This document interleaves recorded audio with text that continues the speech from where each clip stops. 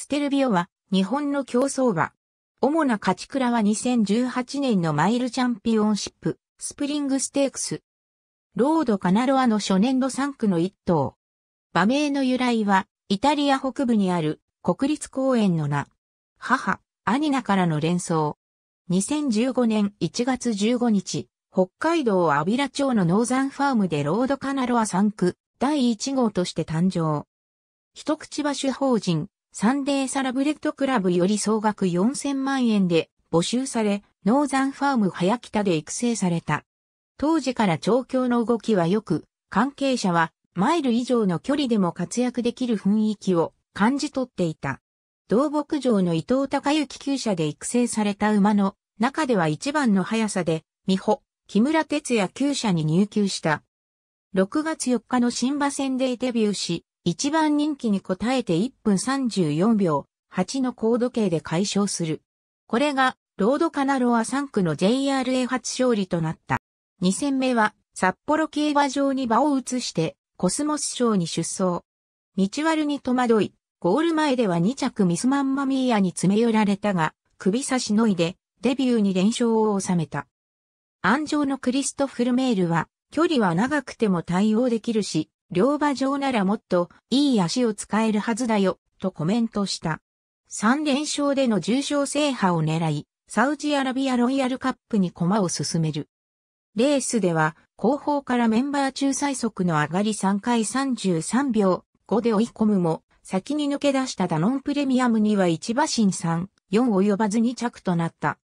続く朝日杯フューチュリティステークスでは、主戦のルメールがタワーオブロンドンに騎乗のため、クリスチャン・デムーロとの初コンビで挑んだ。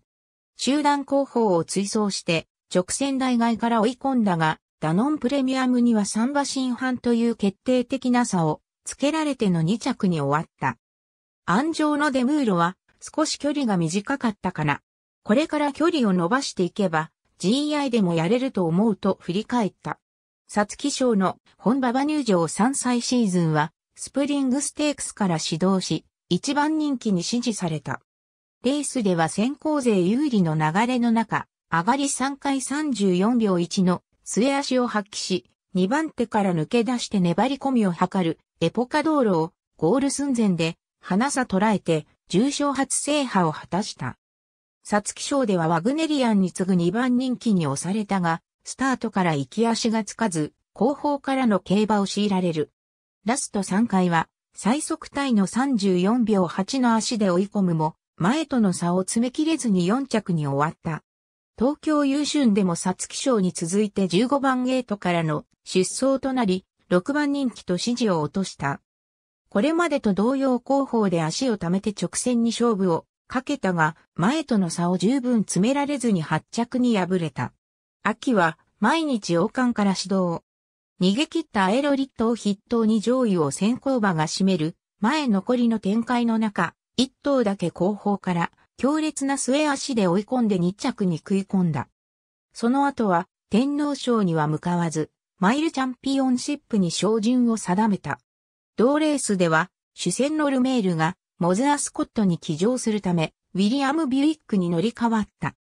一番枠からコースタートを切ると、これまでよりも前の位置で流れに乗り、直線で抜け出すと、前年の覇者ペルシアンナイトの追撃を頭さ退けて GI4 度目の挑戦で初制覇を果たした。マイルチャンピオンシップ以後は休養に当て4歳、シーズン初戦には中山記念が選ばれた。またこれまで主戦の地位についていたルメール騎手がディアドラに騎乗することもあり、新たに丸山元気騎手が本番の大阪杯とのセットでコンビを組むこととなった。丸山との初コンビで迎え対戦では、ルメール騎手騎乗のディアドラに次ぐ2番人気に支持され、直線鋭い末足を披露したものの坂で束と脚色が同じになってしまい、ウィンブライト、ラッキーライラックに続く3着に惜敗した。自走は大阪杯を選択。GI 馬が8頭も集まったため8番人気に評価を落とす。レースでは行為を追走したが直線で完全に脚色が衰え、最下位14着に大敗した。安城の丸山はいいポジションを取れましたが、ラストは距離なのかなという止まり方でしたと敗因に距離を上げた。第69回安田記念パドック続いて出走した安田記念では安城にダミアンレーンを迎えた。同世代のアーモンドアイとダノンプレミアムの2強対決が注目を集めた中、本場は単勝オッズ5番人気に落ち着く。レースではスタートでやや出負けし後方から進める形となり、直線では外から足を伸ばすも発着に敗れた。2月16日、八代台ホースクリニックで喉なりの手術を受けた。以下の内容は netkeiba.com の情報に基づく。ありがとうございます。